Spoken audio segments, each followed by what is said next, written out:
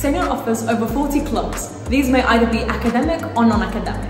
In our academic clubs, you may find some that are like maths or English or another language, which will help you enter into competitions or even with questions that you have with your homework or your classwork.